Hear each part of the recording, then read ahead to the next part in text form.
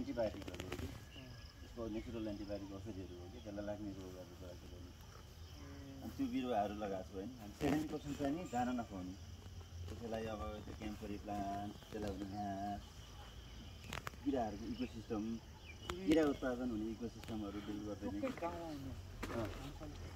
त्यो गाउँमा रखान हुन्थ्यो सबै हुन्थ्यो। अनि दे हेभ डिफ्रेन्ट फुड नि त।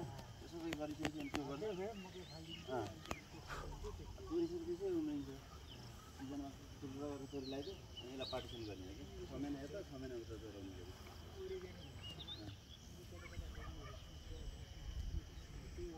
हो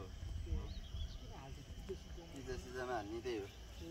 रोजमेरी ओरेगानो होइन?